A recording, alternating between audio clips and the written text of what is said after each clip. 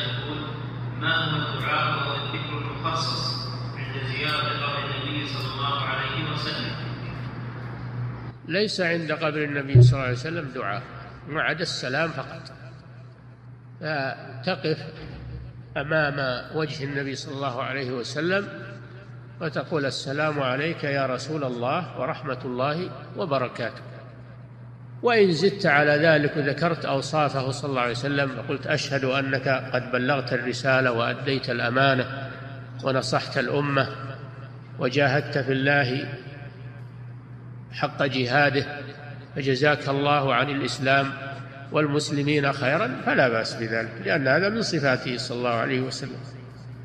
وإن اقتصرت على قولك السلام عليك يا رسول الله ورحمة الله وبركاته كفى. وكذلك عند قبر أبي بكر وعند قبر عمر تقول السلام عليك يا أبا بكر الصديق ورحمة الله وبركاته. السلام عليك يا عمر الفاروق ورحمة الله وبركاته. كان ابن عمر رضي الله عنه إذا قدم من سفر يأتي ويقف عند قبر الرسول صلى الله عليه وسلم ويقول السلام عليك يا رسول الله رحمة الله وبركاته. ثم يتأخر إلى جهة المشرق ثم يقول السلام عليك يا أبا بكر الصديق ورحمة الله وبركاته ثم يتأخر ثم يقول السلام عليك يا أبتي ورحمة الله وبركاته ثم ينصرف. وإذا أراد أن يدعو يدعو في المسجد. يروح ويجلس ولا يقف في المسجد ويدعو الله عز وجل.